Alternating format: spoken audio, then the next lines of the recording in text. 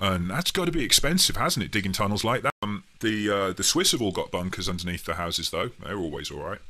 They're always ready, aren't they? Mm, the Russians have got Russians have got underground bases to stash people, haven't they? They've got for for, for the public that is. Right. It's certainly going to scare the elite into going into a bunker, isn't it? FEMA trains to the camps with restraining devices, supposedly. It's when this happens, um, there's going to be more to come. So um, when this thing comes by, it's going to come by again. So this is where it gets uh, really annoying it's supposed to come back in five months and do it again. Is that they're monitoring all these objects right down to the size of pencil lead, and uh, we have trillions of dollars of hardware up there to stop these near-Earth objects from striking the Earth or, or changing their their orbital pathway by pushing them away. And that project is far more advanced than what people think. Our U.S. Space Command uh, is very, very advanced, and all of these objects are being pushed up. And you get a debris field. Let's say that this is, you know, think of it as a teardrop, and there's a plume around it of particles and dust and other things. And this is coming in at say 35 to 40,000 miles an hour. Let's say some of those particles that are coming along with that large chunk of 3,000 meters is actually, let's say, 10 meters, 20 meters, size of a refrigerator, size of a bus, and it's traveling along with it before and after, and there's a tail of this thing, right? Uh, it's likely that part of that tail or part of that corona around it is going to pass not 5,000 miles, but maybe 200 miles or 300 miles. If it starts getting trapped in the atmosphere, the atmosphere pulls it down, and then it explodes, and you get a plasma explosion in the upper atmosphere at hundreds of thousands of degrees. That plasma explosion was happening at Tunguska because it came in such an, an, an obtuse angle uh, that when it came into the Earth, it actually exploded high above the the uh, area of Siberia, causing that explosion to, to literally it flattened hundreds of thousands of square miles of forest. But at this particular time, it's going to just swing back unless we hit a tail or unless unless there's something following it. Oh yeah, this is this is like a comet tail. You know those you know those wing bits coming off the side of it. Those are millions of miles long. Yeah, well, exactly. This is this is our biggest problem. Um, so we've, we've got all this going on, and got all the climate change, of course, because uh, you know they they were very quick, weren't they, to say climate change is our fault. Well, right wouldn't it make you feel a little bit strange if I said that climate change isn't just on Earth, it's happening through the whole solar system? Oh, and they've already stated, this is the U.S. government, that within four years they expect a massive evacuation of Tokyo because of a super earthquake. It's coming into the solar system, and this thing's like a heater. Now, look at what's happened to Venus. We've, we've, got, we've got a couple of decades here and a two and a half thousand percent increase in green light coming off Venus. Coming off it, that's enormous. Right. And then look, rapid appearance of clouds on Mars. Yeah. and ozone appearing on Mars. But we've got a couple of decades here. So Mars well, has got global well, yeah. Why would it say there's global warming on Venus? You know, they're gonna they're gonna tax you for Venus's global warming. yeah, you're right. They couldn't that screws it, doesn't it? One of the weapons that America had that was called the plasma death weapon that, that Nikola Tesla developed. And his plans were later on actually deployed, and America has these weapons. They can create 100 million, uh, 100 megaton explosion over every city or town anywhere in the world in a matter of minutes by plasma interferometry in the upper atmosphere. And what that means is they can create a plasma of hundreds of millions of degrees over an area that can cause an explosion of the upper atmosphere. If you superheat the upper atmosphere to 100 million degrees, you have an explosion because what happens with a nuclear bomb is it's not the bomb that causes the explosion, it's the superheating of the air by X-rays. The X-rays superheat the air to hundreds of millions of degrees in picoseconds, and that's what causes the explosion. It's superheating air. So they can do that without a bomb. Now, this can happen naturally, and what you're saying is when these objects are coming in, they not only discharge plasma, uh, but they can cause a plasma type explosion that can create the Carolina Bays all over the planet.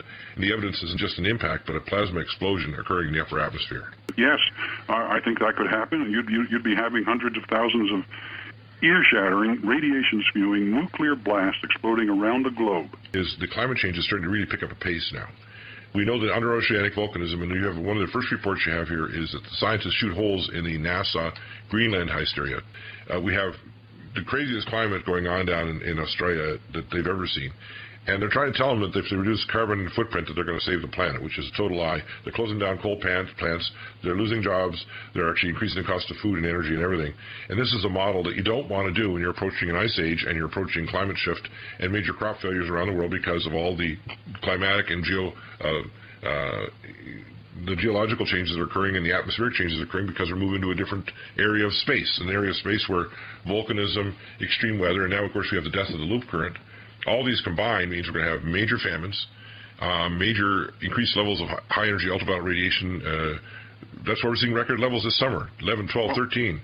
uh, you know, craziness. But we're moving into an ice age, and the Gakkel Range, we've talked about this before, and you're the, one of the first to notice it, is a volcanic mountain range, longer and higher than the, the Swiss Alps, in the Arctic Ocean, underneath the the ice shelf in the Arctic. So a- this thing, yeah. let's talk about this because this scientist thing shooting holes is really important. what you're looking at there. I can I can take that. Um, you can't hide it. I mean, if, if you're if you're going on about Jupiter and what's going on with uh, Jupiter's uh, white ovals, um, look at them changing. I mean, Ju- Jupiter's got remember that great big spot on Jupiter. There's there's a lot of a lot of really weird stuff going on saying Jupiter has gone up um, 18 degrees in 10 years. I mean, what would what would happen if that happened to us on Earth? 18 degrees in 10 years? That would be a problem. Yeah. I mean, that would that would be the end. Well, yes, because uh, NASA, you know, you, you're talking about what's going on in Australia, but look at the United States. NASA, at least part of it, is trying to, to really hype this global warming thing to, to beat the band. They came out with an article this week saying that that something like 97% of the ice on, on Greenland had melted last week. Um, uh, and that they they found this by, by satellite measurement. They said it was unprecedented. absolutely right. Um, so that that's a bit of a problem. Look at that from 1996 to 2002. It's it's 40% brighter. That's not Yeah, that many years now, is it? That thing's closer to what's coming in, and they're getting a lot of changes because they're nearer to. Well, you know when uh, UV hits a glass window, it, it turns into infrared. In other words, the uh, the frequency changes. Well, during the last flare, which came from AR 1540 off the sun, and that was around January 12th, um, it was noted that after the fact, I mean, we weren't told ahead of time, we weren't told to get indoors, but it was stated after the fact that the there was a very strong um, tremendously strong UV strobing of the Earth. In other words, the UV from the sun was so intense that it got down to the surface of the Earth and it strobed it, so it was like intermittent. And um, so when it, I think what happened was that when it got to Greenland, you know, that ice is when it's solid. When the UV gets to it, it's like going through glass. It turns into infrared, and I think that's what melted it. And then when the strobing stopped, the ice remelt, uh, refroze. Yeah, I think that makes total sense. Because they have no other explanation for what happened there. In four days, you know, the entire ice sheet melted. During the summer Yeah. months, it'll go up to, uh, at the most, 55% of the top of the ice sheet will melt. In this case, it went from 37% to 97%, melted in four days.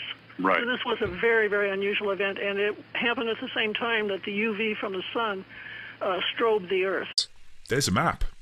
Look at that one. Oh, this is this They're is all o- yeah, this is everywhere. Look at it. and it's all over the world. Yeah, it, it is. Yeah, yeah, it is. There's there's a lot of underground bases now everywhere, aren't there? Yes, there are. volcanoes going off. We're going to have, um, there we go, economic losses. So I suppose someone could dig out the insurance files, couldn't they, and find out how many people have, have lost due to uh, natural disaster or whatever. We've got horrible things happening all around the world. But I don't believe there's anything you can do to prepare for it. I don't think any normal person could really do very because did you know the government moved off the East Coast? Absolutely, they moved everything. Uh, CIA headquarters, FBI, they're all they're all located in Colorado. Probably underground in Colorado. Well, yeah, definitely, because they've got a they've got an underground military base right under the airport, haven't they? They sure do. There's a thing out there, and you've read it in Life magazine. You've seen the front cover of the NASA SETI program. I mean, you've seen the, the, the big uh, uh, the picture from outer space, and uh, they've talked about a hundred million dollar investment, hundred million dollars to invest to find out whether there is extraterrestrial intelligence. Well, there's, there's, they got something going here. You remember War of the Worlds? The radio broadcast? Yes, by Orson Welles, 1939. Mm-hmm. Yes. Well, we've got something else coming in. They're going to make the announcement that they have discovered extraterrestrial intelligence. And this will frighten the people of the world. Say, oh my God, how can we deal with this as a nation? But we can only deal with it you know, as the United Nations. Yes, we're going to have a United Nations, a one world government. Yeah, it's necessary, they're going to say. It's absolutely necessary. Why? Tell me. to, to defend ourselves from those little green men, from the aliens that are out there. They will make that announcement. And the whole program is phony. It's fixed. It's set up.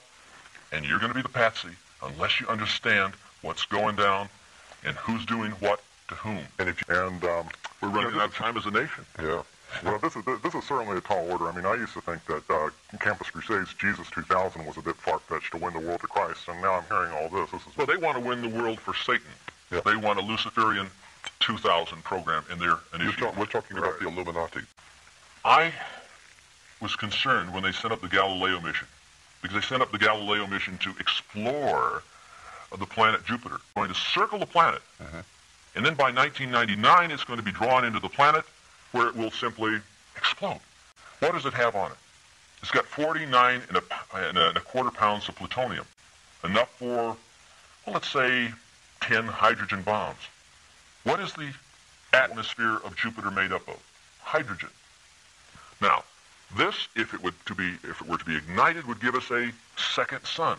Right. And I thought, my God, a second sun. I said, where have I read that before? Something struck me. I said, wait a minute, Arthur C. Clarke, 2010 Odyssey 2. Went back to the last uh, chapter. Guess what the last chapter's uh, chapter's called? Lucifer Rising. And he talks about the ignition of the planet Jupiter by the year 2010. And uh, he said in the, at, at the very end of the book, and you can read it, go to the library, pick it up, look at it. Said that the NASA space program was interested, uh, Dr. Robert uh, Jethro, I think it was, or Jethro, was interested in this particular thesis for the Galileo mission. So we're talking about a space exploration program that not only is going to go, it went up. That was in 1982. This was sent up five years later. If that thing ignites, it would give us a dual solar system. So what we're talking about is And they would suns. rename the planet from Jupiter to Lucifer. Right. And that's exactly what Arthur C. Clarke talks about in Well, you know, 2010. I so we're talking about Lucifer 2000. There'll be no more nighttime, so there'll be no more opportunity for crime at night. There will be more sun now because you have two suns now in, the, in our uh, solar system. And the so increase can of the growing system, growing like the. Matanuska Valley north of uh, uh, uh, Anchorage. And this may sound Alaska. pretty far-fetched, but you had better uh, look at the facts. The fact is that this thing is carrying plutonium. It's going to Jupiter, and they know what it's going to do when it does when it does crash. So And this NASA SETI program could be used as a vehicle to frighten the people of the planet into surrendering their sovereignty and to accepting a one-world government. And we've, we're talking about a thing, uh, a group out here called the Federal Emergency Management Association, which came in mass when the riots took place. They create chaos, and they create control. over the world headquarters in, in, in Switzerland of the World uh, Masonic Headquarters for World Freemasonry, over the door is Ordo ab Chao, which is Latin for order out of chaos. And all Freemasons know that term, Ordo ab Chao. Order out of chaos. The concept is to create chaos, to create the problems. Then while the people are frightened to death of all the crime and everything that seems to be out of control, a riotous situation, the government then moves in with justification. In order to put down this terrible chaos, they must have full power of the military, full obedience of the people to give the government full power to do whatever they. I'm not looking to any of this. I, my- my belief is is that uh, knowledge is the is the thing that's needed. People need to wake up and discover who is running their government, what the symbols of government mean, what these emblems mean. When they see the national coat of arms, the the the, the flags, the emblems, the seals, the symbols, all of these things mean something. Educate yourself. Find out where it came from. That's the only hope I see for the human race is the human race itself waking up to find out we've been had. In Tasmania, which is 2,000 k's away from that. Can you see that?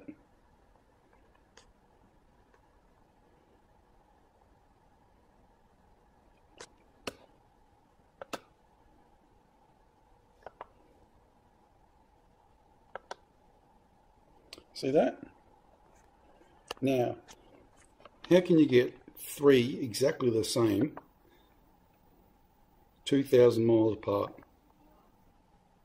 On three different cameras that are miles, thousands of miles apart in Australia. Okay? And look down here. Watch this one.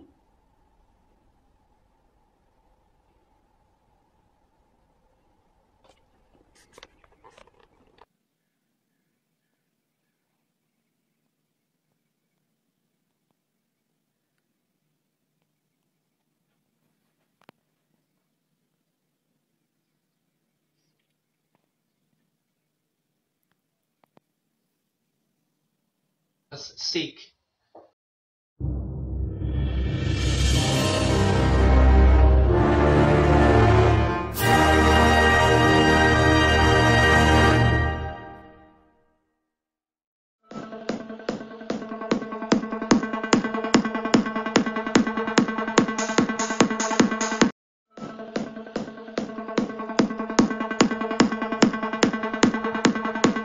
and that's got to be expensive, hasn't it? Digging tunnels like that. Um, the uh, the Swiss have all got bunkers underneath their houses, though. They're always all right. They're always ready, aren't they? Mm, the Russians have got Russians have got underground bases to stash people, haven't they? They've got for for, for the public that is. Right. It's certainly going to scare the elite into going into a bunker, isn't it? FEMA trains to the camps with restraining devices, supposedly. It's when this happens, um, there's going to be more to come. So um, when this thing comes by, it's going to come by again. So this is where it gets uh, really annoying. It's supposed to come back in five months and do it again. is that they're monitoring all these objects right down to the size of pencil lead, and uh, we have trillions of dollars of hardware up there to stop these near-Earth objects from striking the Earth or, or changing their their orbital pathway by pushing them away. And that project is far more advanced than what people think.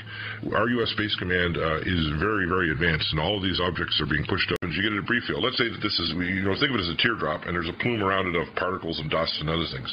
And this is coming in at say 35 to 40,000 miles an hour. Let's say some of those particles that are coming along with that large chunk of 3,000 meters is actually, let's say, 10 meters, 20 meters, size of a refrigerator, size of a bus, and it's traveling along with it before and after, and there's a tail of this thing, right?